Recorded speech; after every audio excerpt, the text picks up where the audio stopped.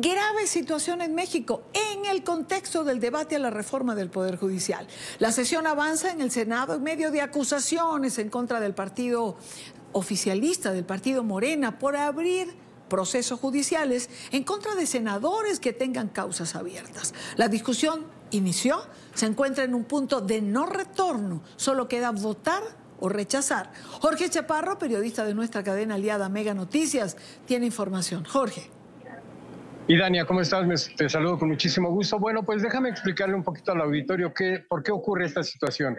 En eh, este momento, el Senado de la República debe contar con por lo menos dos terceras partes de los senadores presentes. Si son 128 los legisladores, se requieren 86 para aprobar una reforma a la Constitución política de nuestro país, de México. Esto no lo tiene Morena, tiene 85. Le hacía falta un senador, le hacía falta un senador o que se ausentara o que votara a favor de ellos. Bueno, pues ellos empezaron a hacer esta presión sobre los legisladores, sobre todo de los partidos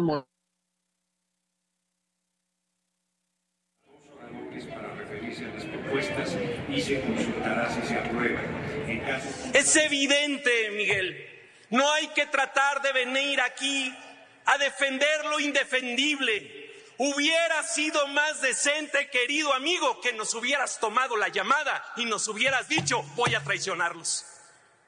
Hubiera sido más decente que le hubieras dicho de cara al grupo parlamentario, porque te estuvimos llamando todos, incluido el presidente de la Comisión Política, Santiago Krill, también muy amigo y nunca, ni siquiera la llamada.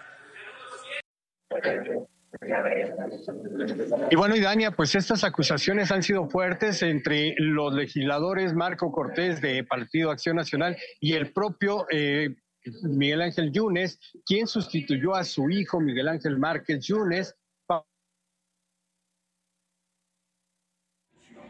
Ser así, se abrirá